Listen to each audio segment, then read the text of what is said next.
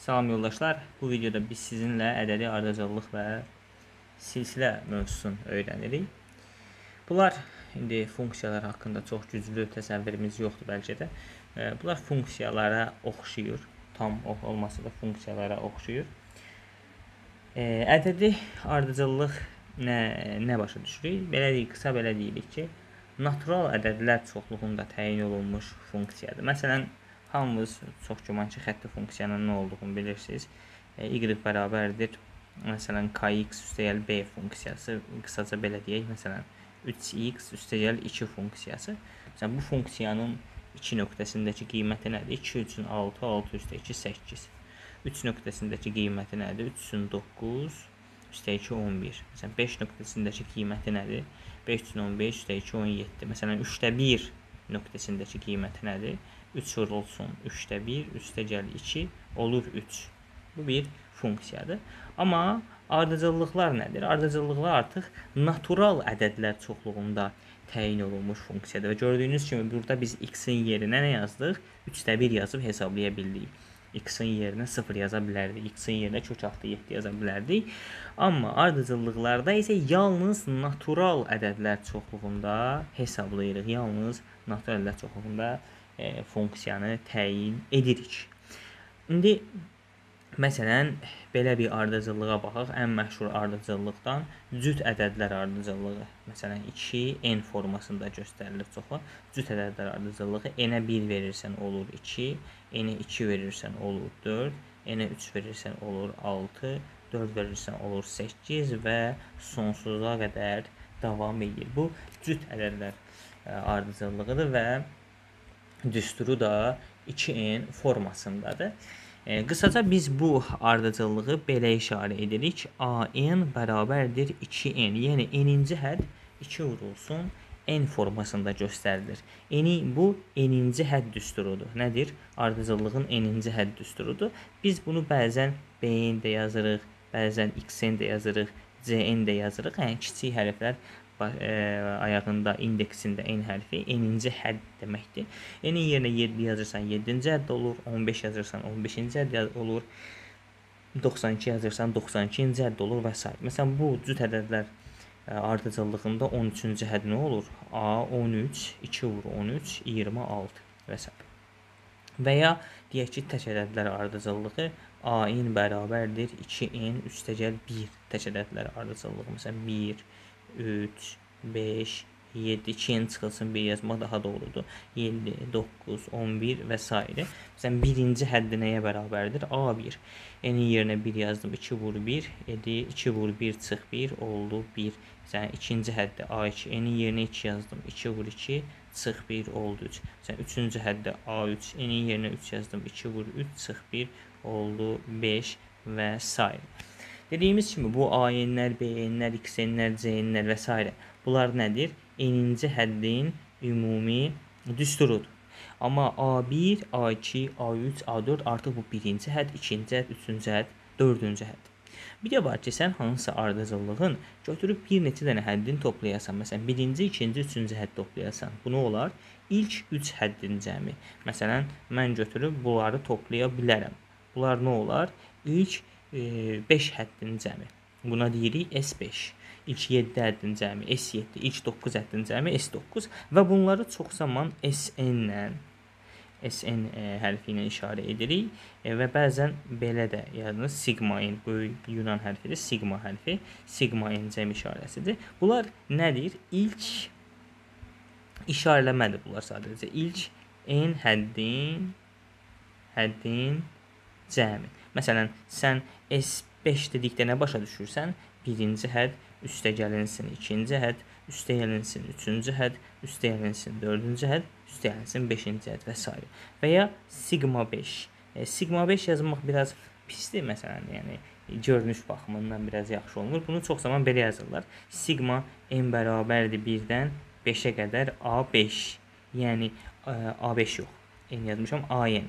Yəni AN-də 1-dən 5-ə qədər həddlərin cəmi. Yəni A1 üstə A2 üstə A3 üstə A4 üstə A5. A1 üstə A2 üstə A3 üstə A4 üstə A5. Məsələn, n bərabərdir 3-dən 7 yazmaq olar. Olar A3, üstə A4, üstə A5, üstə A6, üstə A7. Amma bu S-lərdə isə birbaşa n həddin cəmi. Məsələn, S10 ilk 10 həddin cəmi. S20 ilk 20 həddin cəmi başa düşülür. Bunlar nədir? SN-lər, sigma n-lər ilk n həddin cəmi. Bir də var ki, məsələn, götürəsən bu 3 dənə həddi bir-birinə vurasan. 1 vur 3 vur. Bu isə ilk 3 həddin hasili deməkdir. Bunu isə çox zaman PN-lə ya da Yunan hərfi P N formasında göstərirlər. Bunlar nədir? İşarələmədir yenə də. İlk N həddin həddin hasili. Məsələn, P3 nə deməkdir? Birinci hədd vur ikinci hədd vur üçüncü hədd və ya pi n bərabərdir 1-dən 3-ə qədər bn, yəni b-in ardıcıllığında elə bil ki, bir dənə ardıcıllıq var. Sən onu b-in kimi işarə edibsən. Birinci hədd vur ikinci hədd vur üçüncü hədd başa düşdür. B1 vur B2 vur B3. Yəni gördüyünüz kimi ardıcıllıq müəyyən verilmiş bir düsturdur. O düsturu biz natural ədədlər çoxluğunda hesablayırıq. Bu olur ə, ardıcıllığın n-ci hədd düsturu. Yəni buna bəzən ümumi hədd düsturu da deyirlər və ya n-ci hədd düsturu. Amma SN sigma-in ilk n həddin cəmi, PN-lər isə bu formada isə ilk n həddin hasili kimi başa düşülür. məsələn, e, sizə məsələn sual verirəm, deyirəm ki, belə bir ardıcıllıq olarmı? Məsələn, a-in bərabərdir n kvadrat üstəgəl 3 ardıcıllığı olarmı? Deyirsiniz, niyə olmaz ki? n-i yerinə 1 yazarsan 1 üstə 3 4, 2 yazarsan 4 üstə 3 7, 3 yazarsan 9 üstə 3 12, n-in yerinə yazıram da 4 16 üstə 3 19 və s. Göründüyü kimi sadə bir ardıcıllıqdır. Amma məsələn b-in bərabərdir tutaq ki, n kubu çıx 1 ardıcıllığı. n-in yerinə 1 yazaram, 1-in kubu çıx 1 0, 2 yazaram, 2-nin kubu çıx 1, yəni 8 çıx 1 7, 3-ün kubu 27 çıx 1 26 və s. sonsuz qədər. Amma məsələn belə bir b-in ardıcıllığı götürsəm, Yenə dediyim kimi bu mənim işarələməmdir. Mən onu B ilə işarə etdim. İstəsəydim mən onu K ilə, L ilə, nəsə başqa bir hərflə də işarə edə bilərdim. B-in məsələn 2 e, bölünsün, tutaq ki, n çıxılsın 3 ardıcıllıq. Artıq bu ardıcıllıq ola bilmir. Çünki bunu n-in 1 qiymətində hesablayırsan, n-in 2 qiymətində hesablayırsan, gəlirsən qardaş n-in 3 qiymətində hesablaya bilmirsən. Amma ardıcıllıq natural ədədlər çoxluğunda təyin olunmalı idi. Bu natural ədədlər çoxluğunda təyin oluna bilmədi. Ardıcıllıq deyil. Yəni biz buna ümumi formada Deyirik ki, ardıcıllıq deyil. Çünki ardıcıllığın tərifinə zidd olan xüsusiyyət var burada. Ardıcıllıq dediyimiz kimi natural ədədlər çoxluğunda təyin olunmalı idi n bərabərdir 3 qiymətin natural ədəd olmasına baxmayaraq bu funksiya, bu e, düstur, bu ümumi e, belə də ümumiləşmiş bu ifadə 3 qiymətində hesablana bilmədi. Ona görə bu ardıcıllıq təşkil etmədi. İstənilən ardıcıllıq üçün, baxın, istənilən ardıcıllıq üçün doğru olan 2 dənə sadə düstur var. Və bunları yadınızda saxlamaq lazımdır. Bunlara mən hətta e, qırmızı ulduz qoyuram. SN-lə, e, AIN-lə yazıram. AIN AIN. Əgər sizə ardıcıllığın cəm düsturu verilibsə, hansısa hədd soruşulursa, bax, nə verilibsə nə? Cəm düsturu. Hansısa hədd soruşulursa, sən SN-lə SN çıx biri çıxırsan. Hansısa hasil düsturu verilibsə, hansısa hədd soruşulursa, sən yenə nə edirsən? P-ni P-nin çıx 1-ə bölürsən. Bu ola bilsin gözünə görsənmək baxımından sənə e, biraz kobud kimi görsənən bir şeydir. Amma indi açılışını deyirəm, çox rahat bir şeydir. Məsələn, sənə cəm düsturu verilib. Yəni sən orada n-in yerinə 3 qoyursan, ilk 3 həddin cəmini tapırsan. 10 qoyursan, ilk 10 həddin cəmini tapırsan. 20 qoyursan, ilk 20 həddin cəmini tapırsan. Amma səndən 5-ci, 6-cı, 10-cu, 7-ci həddin özün istəyirlər. Cəmi yox, özün istəyirlər. Sən nə edirsən? Məsələn, 10-cu hədd lazımdır sənə. İlk 10 həddin cəmindən ilk 9 həddin cəmin çıxırsa, bax gör nə asandır. 1-ci hədd, 2-ci hədd, 3-cü, 4-cü, 5-ci, 6-cı, 7-ci, 8-ci, 9-cu, 10-cu. Bu nədir? İlk 10 dənə hədd. İlk 10 dənə hədd. 1-ci, 2-ci, 3-cü, 4-cü, 5-ci, 6-cı, 7-ci, 8-ci, 9-cu. İlk 10 həddin cəmindən ilk 9 həddin cəmini çıxanda nə olur? 9-cu, 10-cu, 8, 7, 6, 5, 4, 3 hamısı gedir, sona bir dənə 10-cu həddin özü qalır. Yəni ilk 10 həddin cəmindən, məsələn, ilk 9 həddin cəmini çıxanda nə qalacaq sənə? 10-cu həddin özü. İlk 20 həddin hasilin ilk 19 həddin hasilinə böləndə sənə nə qalacaq? 20-ci hədd qalacaq. Məsələn, buna dair nümunələr yazıram. Tutaq ki, sənə deyək ki, cəm düsturu verilib, ə, cəm düsturlu verilib, səndən deyək ki, 7-ci hədd soruşulur. Nə edirsən qardaş? 7-ci hədd tapmaq istəyirsən. Ümumiyyətlə, ayin düsturu məlumdursa, apar enin yerinə 7 yaz, bitsin get. Amma ayin düsturu yoxdur. Hə, əlində nə düsturu var? Cəm düsturu var. Aparırsan ə, enin yerinə ə, cəm düsturu verilibsə, S7-dən çıxırsan S6-nı. Yəni ilk 7 həddin cəmindən 6 həddin cəmini çıxanda geriyə 7-ci hədd qalır. Və ya 9-cu hədd tapmaq istəyirsən qardaş, ilk 9 həddin cəmindən ilk 8 həddin cəmini çıxırsan və s. Və ya hasil qaydası verilibsə, tutaq ki, sən 7-ci hədd tapmaq istəyirsən. Nə edirsən? İlk 7 həddin hasilini bölürsən ilk 6 həddin hasilinə. Tutaq ki, sən 12-ci hədd tapmaq istəyirsənsə, nə edirsən? İlk 12 həddin hasilini bölürsən ilk 11 həddin hasilinə. Yəni bunlar bizə mütləq, amma mütləq lazım olacaq keçərli qaydalar. İndi isə ardıcıllıqların ən çox istifadə etdiyimiz 2 dənə xüsusi növü var. Ardıcıllıqlar ümumiyyətlə çox növü var. Bizim üçün ən vacib olan 2 növü var. Ümumiyyətlə tək bizim üçün yox. Bütün ədəbiyyatlarda daha geniş bunlara yer ayrılır. Ədədi ardıcıllıqlar və həndəsi ardıcıllıqlar. Biz indi ədədi və həndəsi ardıcıllıqlara baxırıq. E, daha doğrusu ədədi və həndəsi ardıcıllıq demək biraz e, kobud kimi görsənir. Çünki əksəriyyətində biz bunların ədədi ardıcıllıq deyirik. Yəni ədədi ardıcıllıqlar, ümumiyyətlə ardıcıllıqların xüsusi növü olan ədədi və həndəsi silsilələrə. Ədədi silsilədən başlayaq. Deməli, ədədi silsilə. Ədədi silsilədə belə deyirik ki, ardıcıllıqda hər bir hədd, daha doğrusu ardıcıllıqda ikincidən başlayaraq hər bir hədd özündən əvvəlki həddlə eyni ədədin cəminə bərabərdirsə, belə ardıcıllıqlara qısaca deyəcəyik ədədi silsilə. Yəni tərif baxımından qarışıq bir şeyə oxşaya bilər. Amma nə dedik? Dedik ikincidən başlayaraq hər bir hədd, yəni ikinci, üçüncü, dördüncüyə getdi axıra qədər, sonsuza qədər. Hədd özündən əvvəlki ilə eyni ədədin cəminə bərabərdir. Bax bu nə deməkdir? Məsələn, birinci həddimiz tutaq ki 3-dür. Sonrakı 5-dir. Sonrakı 7-dir, 9-dur, 11-dir, 13-dür, 15-dir və s. Fikir ver. 5 3 ilə 2-nin cəminə bərabərdir. Yəni özündən əvvəlkinin üzərinə 2 gəlməklə alınır. 7 5 ilə 2-nin cəmidir. 9 7 ilə 2-nin cəmidir. 11 9 ilə 2-nin cəmidir. Yəni hər hədd özündən öncəkinin üstünə eyni bir şey gəlməklə alınır. Bu ədədi silsilədir. Yəni qısaca ədədi silsiləni siz belə e, beyninizdə otuzdura bilərsiniz. Əvvəlki həddlərin üstünə eyni şey gələndə ya da çıxanda bu hədd versin. Yəni 10 10 azalsın ya da 10 10 artsın.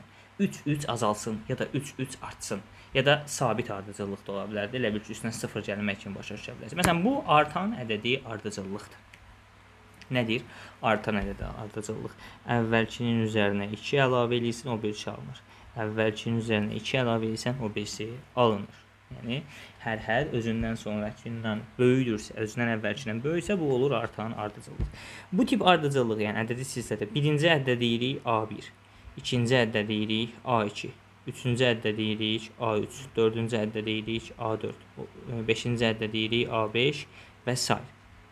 Gördüyünüz kimi ardıcıllıq 2 2 2 2 artır. Yəni həddlər arasındakı fərq eynidir. Həmin fərq silsilə fərqi adlanır və D ilə işarə olunur. Məsələn, bu ardıcıllıqda silsilə fərqi 2-dir. Çünki 2 2 artı arta gedir. 2 2 azala azala getsəydi silsilə fərqi olacaqdı mənfi 2. İndi gəlin bunu ümumi bir düsturla verək. Məsələn, ədədi ardıcıllığın ilk həddi A1 A1 Və qısaca qeyd edim ki, ədədi ardıcıllıqlar daha çox biz A hərfi ilə işarə edirik. Məsələn, B-nin də B1, B5, C1, C5 də deyə bilərik. Daha çox A-ya üstünlük veririk. A1, A2, A3, A4, A5, A6 bura qədər bəsdir. A1 heç, A1 dayanıb yerində. A2 A1-in üstünə bir dənə D gəlməkdir. A3 artıq A2-nin, yəni bunun üstünə də bir dənə D gəlmək deməkdir. Yəni A1 olur, A1 üstə 2D olur. Sonra A4 artıq A3-ün üstünə bir dənə D gəlməkdir. Yəni A1 üstə 2D-nin üstünə bir dənə D gəlməkdir. A1 üstə gəl 3D olur. A5 A1 üstə gəl 4D olur. A deməli 6 A1 üstə gəl 5D olur və s. O zaman qısaca buradan belə bir nəticə əldə edirik və bu bizim üçün əzbərlənəcəyimiz üsullardan biridir. N-ci hədd birinci həddin üstünə n-dən bir əski dənə d gəlməklə tapılır. Yəni bax A3 birinci həddin üstünə 3-dən 1 əski, yəni 2 dənə d gəlməyi tapılır. A5 birinci həddin üstünə 5-dən 1 əski, yəni 4 dənə D gəlməklə tapılır. Yəni n-ci həddi tapmaq istəyirsənsə, sən birinci həddin üstünə n-dən bir əksik dənə D gəlməlisən. Məsələn, tutaq ki, sən müəyyən bir ədədi silsilədə 18-ci həddi tapmaq istəyirsən. Onda birinci həddin üstünə sən D gələcəksən, 18-dən 1 əksik 17 dənə D gələcəksən. Bax bu düsturun mənası bu deməkdir. Ədədi silsilədə n-ci hədd düsturudur. Nə edəcəksiniz bunu? Əzbərləyəcəksiniz bunu. Əleyhissalam. İndi burdan yenə xüsusi düsturlarımız çıxır. Ortaya bir neçə artıq düstur olacaq. Biz bunları əzbərləyəcəyik. Misallarımızı bunların köməyi ilə yazacağıq. Məsələn, görürsən ki, əgər mən 2-ci əddən 1-ci əddə çıxsam, D eləyir. 3-cü əddən 2-ci əddə çıxsam, D eləyir. 4-cü əddən 3-cü əddə çıxsam, D eləyir. Ona görə də ədədi silsilədə hər hansı zaman, nə zamansa silsilə fərqini tapmaq istəyirsənsə, həddən, yəni n-ci həddən ondan öncəki həddi çıxmalısan. A-dən A-ın çıx biri çıxmalısan. Məsələn, sən D-ni burdan da tapa bilərsən. Bu da bizə lazım olacaq. Bax, A-dən A1-i çıxıb, e, deməli n çıx 1-ə bölmək də lazımdır. Yəni belə də tapa bilərsən. D-ni tapmaq üçün. D-ni tapmaq üçün A-dən A1, A-ın -1 çıxmalısan. Yəni məsələn, sən silsilə fərqini tapmaq istəyirsən. Tutaq ki, silsilə fərqini tapmaq istəyirsən, məsələn 20-ci həddən 19-cu həddə çıxa bilərsən. Məsələn, 35-ci e, həddən 35-dən qabaq nə eləyir? 34-cü həddə çıxmalısan və s. D-ni tapmaq istəyirsənsə. İndi təbii ki, hər şeyi birinci həddən tapmayacaqsan ki, məsələn, ikinci həddin üstünə bir dənə D gələndə üçüncü hədd olur. E, ya da ki, ikinci həddə bax, bir dənə D. Üstünə 3 dənə D gəlsəm 4 dənə D olur yəni ikinci həddin üstünə 3 dənə D gəlsəm, 5-ci hədd olur. Onda belə bir düstur çıxır meydana. Yəni n-ci həddi birinci yox. Hər hansı bir A, K-cı həddən aslanmaq istəyirsənsə, n-ci hədd bərabərdir. K-cı həddin üstünə n çıx K dənə D gəlməlisən. Yəni bax bu düstur həddi birinci həddən asılı tapmaqdır. Bu isə həddi 1, 2, 3, 4, 5, 15, 20, 30-cu hədlərdən asılıdır. Məsələn, gəlin 10-cu həddi 1-ci həddən asılı tapaq. 10-cu həddi tapmaq istəyirsənsə, 1-ci həddin üstünə 9 dəfə D gəlməlisən. 9 dəfə D gəlməlisən. Ya da bəlkə sənə 10-cu həddi 2-cidən asılı göstərmək lazımdırsa, 2-cinin üstünə 8 dənə D gəlməli. Fikir ver, bunun indeksi ilə bunun əmsalını toplayanda bunun indeksini verir. Yəni 2 üstə 8, 10. Yəni sən 3-cü həddi tapmaq istəyirsənsə, daha doğrusu 10-cu həddi 3-cü həddən asılı açmaq istəyirsənsə, 3-cü həddin üstünə 7 dənə D gəlməlisən ya da 4-cü həddin üstünə 6 dənə D gəlməlisən ya da 5-ci həddin üstünə 5 dənə D gəlməlisən ya da 6-cı həddin üstünə 4 dənə D gəlməlisən. Ondan 6 əskik. 7-ci həddin üstünə ondan 7 əskik. 3 dənə D gəlməlisən. Sonra 8-ci həddən asılı açmaq istəyirsənsə, 8-ci həddin üstünə 2 dənə D gəlməlisən. 9-cu həddən asılı açmaq istəyirsənsə, 9-cu həddin üstünə deməli 1 dənə D gəlməlisən. A10-un üstünə elə 0 gələndə A10 eləyir də. İndi tək sən A10-u 11-ci həddən asılı açmaq istəyirsən, artıq A11 onu aşıb. Tamam mı? A11-in içində bir dənə artıq D var. Bundan bir dənə D çıxa bilərsən. Yəni mənfi bir dənə D belə də yazmaq olar. Bu daha qəşəng A11-i açanda görsənir. A11-i tapmaq üçün A10-un üstünə bir dənə D gəlməlisən. Və bunu qəşəng-qəşəng öyrənib digər hədlərə tətbiq etmək lazımdır. Lazımdır. Bu nədir? Ədədi ardıcıllığı, ədədi silsənin birinci həddi, bu 6-cı həddi. Məsələn, birinci hədd və n-ci hədd verildikdə həddlərin hər hansı başqa hədd verildikdə sayını tapanda biz n-i tapmağa cəhd eləyəcəyik. Yəni ümumiyyətlə A1 birinci hədd, A2 ikinci hədd, A7 yeddinci həddir. D silsilə ə, fərqidir. N isə həmin silsilədə, həmin ardıcıllıqda hədlərin sayı n gedib 10-da dayanırsa, demək ki, 10 dənə həddən söhbət gedir. Gedib 7-də dayanırsa, demək ki, 7 dənə həddən söhbət gedir. İndi ədədi hmm, ədədi ardıcıllıq üçün bir neçə önəmli olan düsturlar var. Gəlin o düsturlara baxaq. Ədədi silsilənin əsas mən ədədi ardıcıllıq deyirəm, bəzən dilim o qədər öyrəşib. Ədədi silsilədən söhbət gedir hal-hazırda. Ədədi silsilənin əsas xarakteristikası, əsas xarakteristikası deyilən bir düsturumuz var. Bu nədir? İkincidən başlayaraq hər bir hədd, yəni n artıq 1-dən böyükdür. Yəni 2, 3, 4, 5 üçün. İkincidən başlayaraq hər bir hədd özündən əvvəlki ilə özündən sonrakının ədədi ortasıdır. Yəni ədədi ardıcıllıqda belə bir qayda var ki, han ikinci birincidən qabaq bir şey yoxdur, axı ona görə 2-dən başlayırsan. İkinci hədd birinci ilə üçüncünün ədədi ortasıdır. Məsələn, 10-cu hədd ə, 10-cu hədd e, deməli 9-cu ilə 11-ci ədəd ortasıdır. 20-ci hədd 19-cu ilə 18-ci e, 20-ci hədd 19-cu ilə 21-ci ədəd ortasıdır. Məsələn, gəl burada yoxlayaq. Yəni ya da başqa bir ardıcıllıq yazaq. Məsələn, azalan bir ardıcıllıq yazıram. Məsələn, e, 29 26 23 21 19 18 e, 3 3 azalırdı. 16 13 göründüyü kimi bu azalan ədədə silsilədir azalan ardıcıllıq 4 və s. gedər.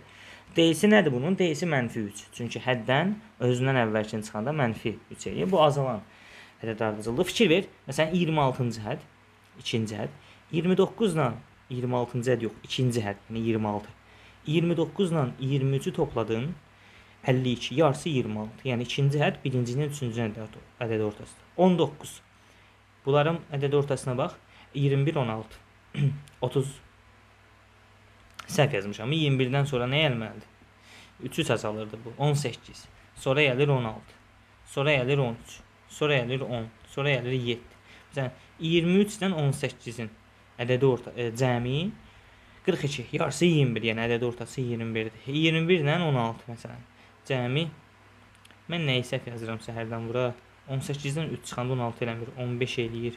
15-dən 3 çıxanda 12 eləyir. 12-dən 3 çıxanda 9 eləyir. 9-dan 3 çıxanda 6 eləyir. Aha. Məsələn 21 ilə 15-in ədədi ortası, yəni topla 2-yə bölün neçə eləyəcək? 36 yarısı 18. Yəni hər hədd özündən əvvəlki ilə sonrakının ədədi ortasıdır. Və bunu daha da ümumi formada demək olur. Daha da ümumi formada demək olur. Bu daha maraqlıdır. E, məsələn, əgər n üstə k m üstə l-dirsə ya da belə deyək. Əgər n üstə k-nı 2 n üstə k-nı 2-yə böləndə m eləyirsə belə yazıram. m üstə k-nı 2-yə böləndə n edirsə, onda n-ci həddi tapmaq üçün m-ci həddlə k-cı həddi toplayıb 2-yə bölmək olar. Yəni indekslərinin cəminin yarısı bu birisinin indeksi verirsə, o zaman o həddlərin özlərinin də cəmi yarısı bu həddi verir. Məsələn, nə demək istədim mən burada? Tutaq ki, 3 ilə 7-nin ədədi ortası 5-dir. Hansı ədədi silsilə olursa olsun, hansı ədədi silsilə olursa olsun, fərq etməz. O ədədi silsilədə 3-cü həddlə də 7-ci həddi toplayıb 2-yə böləndə 5-ci həddi verəcək. Yoxlayaq. 1-ci hədd, 2-ci hədd, 3-cü hədd, 4-cü hədd, 5-ci hədd, 6-cı hədd, 7-ci hədd. 7 ilə 3-ü toplayaq. Yəni 7-ci ilə 3-cünü. Yəni 12 ilə 23-ü topladım. 40. 40-ın yarısı 20. Allaha şükür heç burada 20 yoxdur. Deməli 7-ci əddən 3-cü əd. 23 ilə 12-ni topladım. Neçə elədi? Mən buradan nə 26, 23, 23-dən 3 çıxdım. 23-dən 3 çıxdım 20, 20-dən 3 çıxdım 17, 17-dən 3 çıxdım 15 dəfə dəyişmişəm bu zərdə. 11, 11-dən çıxdım 8, 8-dən çıxdım 5. E, deməli 3-cü həddən 7-ci həddi topladım. Nə elədi? 34. Yarısı 17. 17 də həqiqətən 5-ci həddir. Yəni 3 ilə 7-nin e, ədədi ortası 5 olduğundan A3 ilə də A7-nin ədədi ortası A5-dir. Və bu çox önəmli qaydalardan biridir. Yəni bunu e, əzbərləsək məncə pis və çətin düsturda deyil. Yəni hədəf hissəsinin silsilənin əsas ə, xassələrindəndir və məncə asan bir düsturdur. Asan bir düstur. Və ya indekslər cəmi eynidirsə, o zaman həmin indekslərə uyğun hədlərin də cəmi eynidir. Məsələn, m-lə k ilə toplamaq, n-lə l-i toplamaqdırsa, elə AM-lə də AK-nı toplamaq, AN-lə də AL-i toplamaqla eyni şeydir. Yəni məsələn, baxaq 2 ilə 3-ü toplayanda da 5 eləyir. 1 ilə 4-ü toplayanda da 5 eləyir. Onda belə çıxır ki, ikinci hədlə üçüncü həddi toplamaq elə birinci hədlə dördüncü həddi toplamaqdır. Gəl baxaq. E, gəl bura baxaq. İkinci ilə üçüncü, yəni 26 ilə 23 49. Birinci ilə də dördüncü 29 ilə də 20, yenə 49. Yəni gördüyünüz kimi bütün ədədi e, silsilədə keçərli qaydalardan. İndi isə keçirəm son ədəd silsilə üçün son anlayışımız olan cəm düsturuna. Deməli bu ə, e, cəm düsturuna keçməmişdən öncə burada belə bir xüsusiyyəti ə, e, qeyd edək. Və burada n-in tapılma qaydası var. Bu biraz önəmli bir şeydir. Məsələn, ardıcıllığın birinci həddini bilirsiniz, bir də sonuncu həddini bilirsiniz. Orada neçə həddin ə, e, istifadə, yəni neçə neçə hədd var neçə toplanan var, yəni ardıcıllığın neçə həddi var. Bunu tapmaq bəzən lazım gəlir. Siz qısaca burdakı bu düsturdan istifadə edirsiniz. Bunu necə tətbiq edirsiniz və bu tənlikdən n necə tapmaq olar? AN-dən təbii ki, A1-i çıxarsan, D-yə bölüb üstə 1 gələrsən. Amma bu kifayət qədər vacib bir düsturdur. Bunu adımızı əzbər bildiyimiz kimi bilməyimiz lazımdır. Nə edirsən? Sonuncudan birincini çıxırsan D-yə. Yəni ardıcıllıq neçə-neçə artırsa və ya neçə-neçə azalırsa, ona bölürsən, üstə 1 gəlirsən. Yəni qısaca biz bunu belə belə deyirik. Sonuncudan birincini çıxırsan, neçə-neçə artırsa, ona bölüb üstə 1 gəlirsən. Bu nəyə kömək edir? Ə, verilən ardıcıllıqda neçə həddin olduğunu tapmağa imkan verir. İndi dediyim kimi keçirik cəm düsturuna. Məsələn, ədədi silsilədə ilk 10, ilk 20, ilk 30, ilk 5, ilk 7 həddin cəmini tapmaq üçün nə edirsən? Bunun üçün birinci həddən sonuncu həddi toplayırsan, bölürsən 2-yə, vurursan sayına. Çox asan düsturdur, düzdürmü? Birinci ilə sonuncunun ədədi ortasını vurursan həddlərin sayına. Məsələn, ilk 30 həddinmi cəmin istəyirlər səndən? Birinci ilə 30-cu toplayırsan, 2-yə bölüb 30-u vurursan. İlk 70 həddinmi cəmin istəyirlər? Birinci həddən 70-ci həddin toplayırsan, 2-yə e, bölüb vurursan 70-ə. İlk 40 həddin cəmini istəyirlər. Birinci həddən 40-cı həddi toplayırsan, bölürsən 2-yə, vurursan 40-a. Biz bəzən 40-cı həddi bilmirik. Məsələn, ayini bilmirik. O zaman ayini, yəni 40-cı həddi, 30-cu həddi A1-dən, A2-dən və s. açsaq, ona görə bu cəmin belə bir forması da var. 2 dənə A1 üstünə n çıx 1 dənə D gəlib bölürsən 2-yə vurursan n-ə. Yəni burada a-nin yerinə və bu a-nin yerinə a1 üstələnsin, d var alsın, n-1 yazdım. Yəni ilk 30 həddən cəmi tapmaq istəyirsən, 2a1 30-dan 1 əski, yəni üstə 29d bölü 2 vurayım. Məsələn, tutaq ki, siz ilk 20 həddən cəmi tapmaq istəyirsiniz. Nə etməlisiniz? Birinci həddən 20-ci həddi toplayıb 2-yə bölüb 20-yə vurmalısınız. İlk 18 həddin cəmi tapmaq istəyirsiniz. Birinci həddlə 18-ci həddi toplayıb bölüb 2-yə vurursunuz 18-ə. Ya da bu düsturlara görə. Bəs yaxşı, o düstura görə e, deməli bu S18-dir. O düstura görə S20 nədir? 2 dənə A1 20-dən 1 əski 19D böl 2 vur 20. Və ya o düstura görə S18 nədir? İkinci düstura görə. 2 dənə A1 18-dən 1 əski 17D bölünsün ki, vurulsun 18. Bax, bu ədədi sistli üçün ilk n həddin cəmi düsturudur. Və bayaq dedik ki, bir e, bu düstur var idi burada. SN düsturu. Bax bu eyni zamanda həm də ədədi silsilə üçün keçərlidir. Ümumiyyətlə dedik ki, bütün ardıcıllıqlar üçün keçərlidir. Belə ədədi silsilədə bundan başqa təzə düstur biz görməyəcəyik. Bunları yəni ə, hər hansı A1-də, M verildikdə, S verildikdə, bu dördlükdən 3-ü verildikdə digərlərini tapmalı. Bunları yaxşı əzbərləyib, yaxşı-yaxşı yadımızda saxlamağımız lazımdır. Ə, gəlin, gəlin nümunə üçün bir ə, ardıcıllığa baxaq. Sonra gedək. Məsələn, həndəsə silsilə. Tutaq ki, belə bir ardıcıllıq verilib. Tutaq ki, ə, 96 91 və s. Və gəlib burada deyək ki 3 nöqtə 41 41 deyir ki, bu cəmi tap. Yəni bunların cəmini tap. Sən də baxırsan ki, 96 bura bir dənə də yazsaq daha qəşəng olar.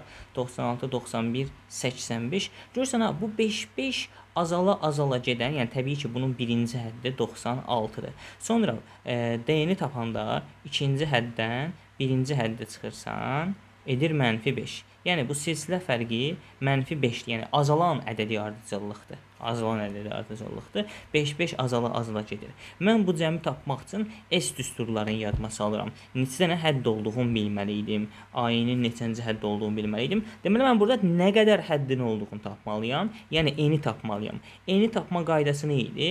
Sonuncudan birincini çıxırdın, neçə-neçə artırdısa ona bölürdün. Yəni 41-dən 96-nı çıxırdın, neçə-neçə artır? -5 5. Yəni azalır da əslində. Yəni A-ın çıx A1 böl D üstə gəl 1.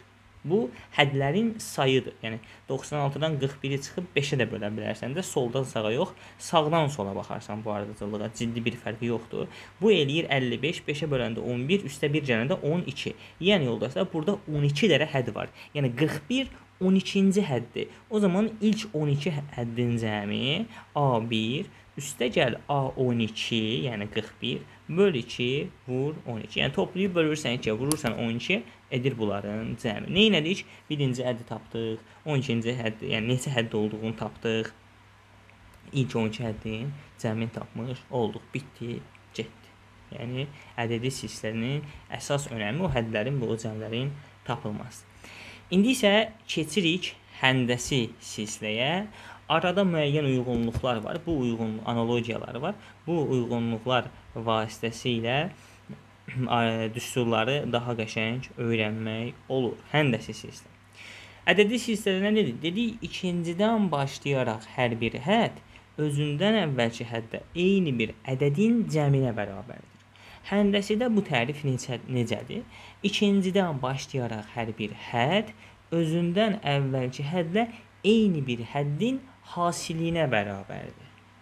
Bax indi, məsələn 2, sonra 6, sonra 18, sonra 54, sonra 162, sonra deməli 486 nöqtə nöqtə. Nə bu görsən? Görsən, a bu həddlər 3-ə vurula vurula, vurula vurula gedir.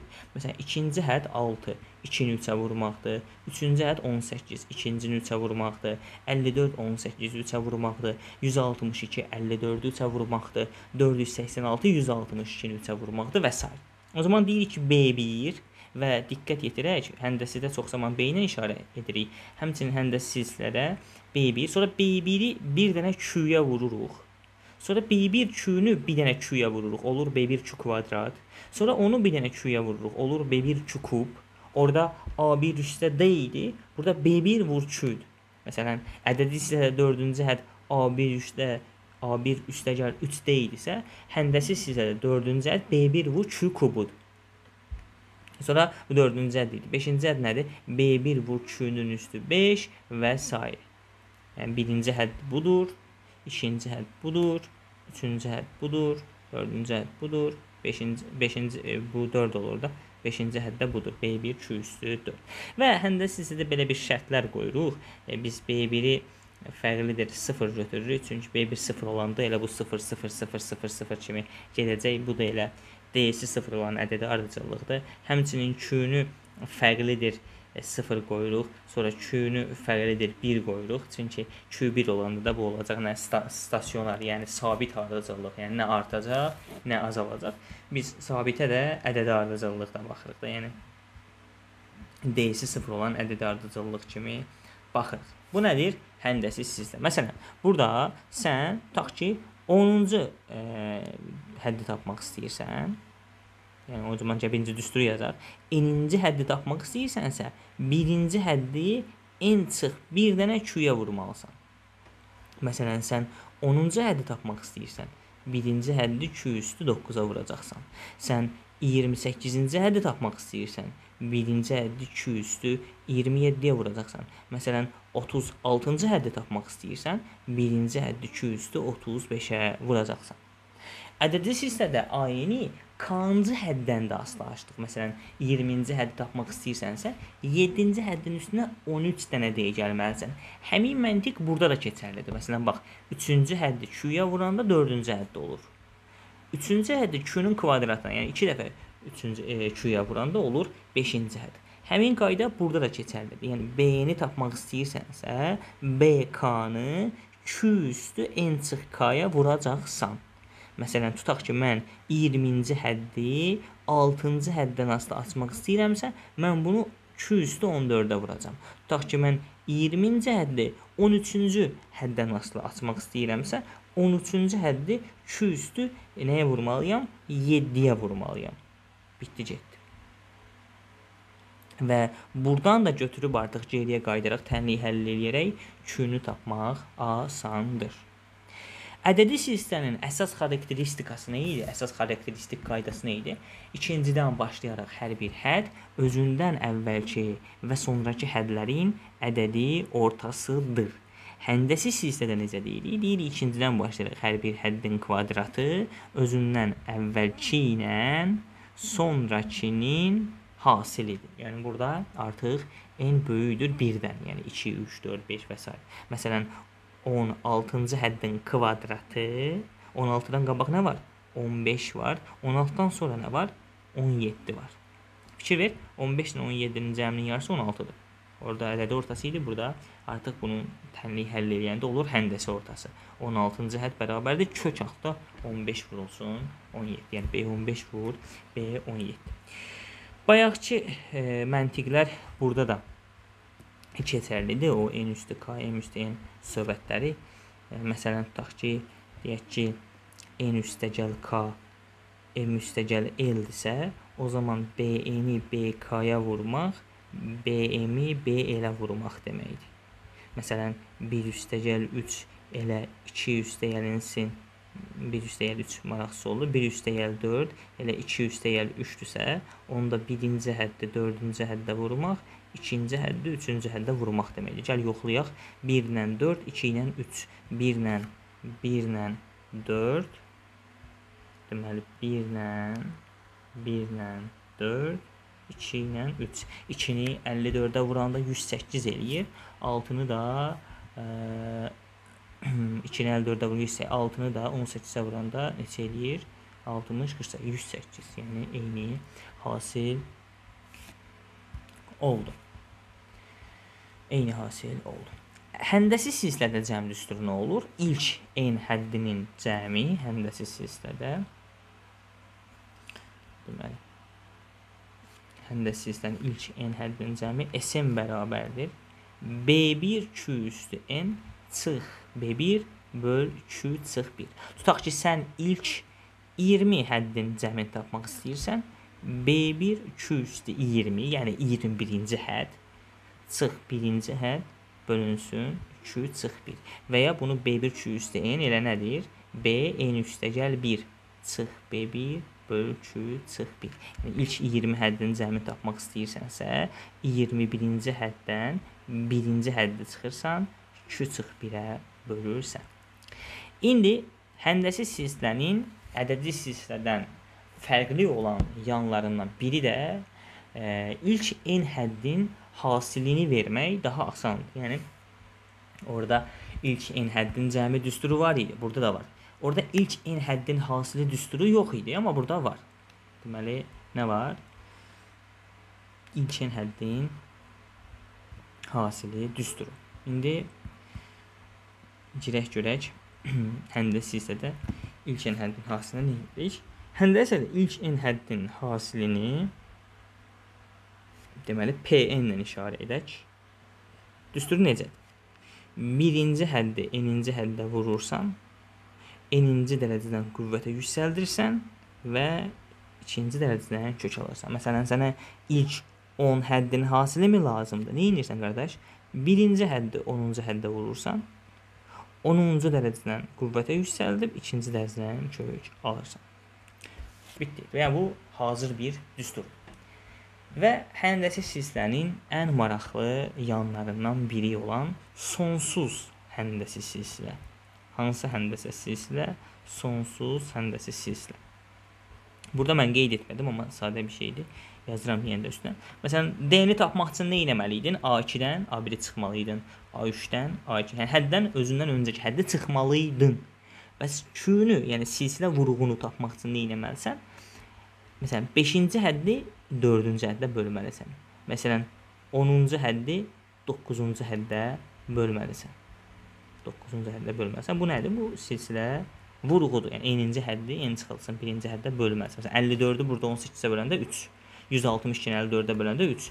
486-nı 162-yə böləndə 3. Sonsuz həndəsə silsilə dediyimiz şeydə Q modul Q 1-dən kiçik olur və ya yəni 2-0 ola bilməz də bilirsiniz. 2-0 olmurdu bayaq dedik. Yəni mənfi 1 ilə müsbət 1-in arasında olur ki. Fikir ver. Məsələn 128. Sonra 64. Sonra 32. Sonra 16. Sonra 8. Sonra 4. Sonra 2. Sonra 1. Sonra 2. Nə baş verir burada yoldaşlar? 2-də 1-ə vura-vura gedirsən. Bu nədir? Q-si 2-də 1 olan həndəsi silsilə. Əgər bu gedib bir yerdə dayanmırsa, sonsuza qədər davam edirsə, buna deyirlər sonsuz həndəsi silsilə. Və sonsuz hənd indi səndən ilk 10 həddin cəmini istəsə, bayaqkı düsturdan istifadə elə. B11 çıx B10 bölgü çıx 1 heç. Amma sonsuzda da bir cəm var. Yəni Q mənfi 1 ilə müsbət 1 arasında olanda ona deyirlər sonsuz həndəsi silsilə. Yəni əgər müəyyən bir nömrədə dayanmayıbsa və Q ilə mənfi 1 ilə müsbət 1 arasında bu sonsuz həndəsizlədir. Sonsuz olmasına baxmayaraq çox kiçilliyini öyrəcək ki də onun sonlu bir cəm düsturu var və həmin cəm düsturu S bərabərdir B1 böl 1 çıx Q-dür. Bax, siz həndəsi silsilənin cəm düsturu budur. İlk 10, ilk 15, ilk 57, ilk 63, ilk 42, ilk 7 həddin cəmindəsə o düstur. Yox əgər Q mənfi 1 ilə müsbət 1 arasındadırsa və sonsuzdursa, dayanmayıbsa bir yerdə, bütün həddlərin cəmi istəyirsə, onda bu düstur keçərlidir. B1 böl 1 çıxır. Kifayət qədər asan düsturdur. Limit e, limit ilə istifadə olunmağına isbat olunan bir qaydadır. yəni n söhbəti yoxdur. İlk 10, ilk 15 olsaydı zaten yuxarıdakı düstur idi. Bu yalnız bu tip. Yəni görürsən eyni bir 0 ilə mənfi 1 ilə müsbət 1 arasında ilə vura vura vura vura e, getdi və bunun cəmin B1 bölünsün 1 çıx Q düsturu ilə hesablanır. Xüsusi halda Q mənfi 1 ilə müsbət 1 arasında yox, 0 ilə 1 arasındadırsa, yəni mənfi 1 ilə müsbət 1 arasındakı müsbət hissədədirsə, buna deyirlər artıq sonsuz azalan həndəsi sistem. Zaten mənfi 1 ilə müsbət 1 arasında isə sonsuz idi. Üstəgəl 0 ilə 1 arasındadırsa, yəni bu mənfi 1 ilə 0 arasında olanları götürüb tulladın. 0 ilə 1 arasındadırsa, deməli o zaman olur sonsuz azalan. Çünki bu zaman azalmağa başlayır. Ədədi silsilədə çox rahat idi. Yəni silsilə fərqi, yəni D 0 idisə, olacaqdı standart 5 5 5 5 10 10 10 belə stasionar ardıcıllıq, sabit ardıcıllıq nə artır, nə azalır. Silsilə fərqi müsbət idisə arta-arta edirdi, mənfi idisə azala-azala edirdi. Lakin həndəsizlikdə söhbət elə deyil. Məsələn, bunu artan azalan olması üçün birinci həddinin müsbət olması lazımdır. Həmçinin Q-sünün müsbət olması lazımdır. Məsələn, birinci hədd müsbətdir, Q də müsbətdir. Q 1-dən böyüksə olur artan. Amma birinci hədd müsbət, Q 0-dan 1 arasındadsa olur azalan. Yəni məsələn, birinci hədd mənfi olanda Gah bir dənə həddi müsbət olur, bir dənə həddi mənfi. Bir dənə həddi müsbət olur, bir dənə həddi mənfi. Artıq bu nə artandır, nə azalan. Yəni bu azalan artma söhbəti həndəsidə biraz e, diqqət tələb edən anlayışlardandır. Yəni buna biraz diqqətli olmaq lazımdır. Belə, həndəsi silsilə içində siz ilk n həddin cəmin, hasilin, sonsuz həndəsindən düz tutan bilməlisiniz. Hər hansı həddi başqa bir həddən asılı açmağı bilməlisiniz və künü tapmağı Həmçinin həndəs silsilənin əsas xassəsini, yəni həddin kvadratı özdən əvvəlki və sonrakinin hasilinə bərabər. Bax bunları bilməlisiniz. Qalan yerdə qalan bütün məsələ və misallarımız bu düsturların vasitəsilə, düsturların köməkliyi ilə deməli həll ediləcək. Sağ olun, hələlik.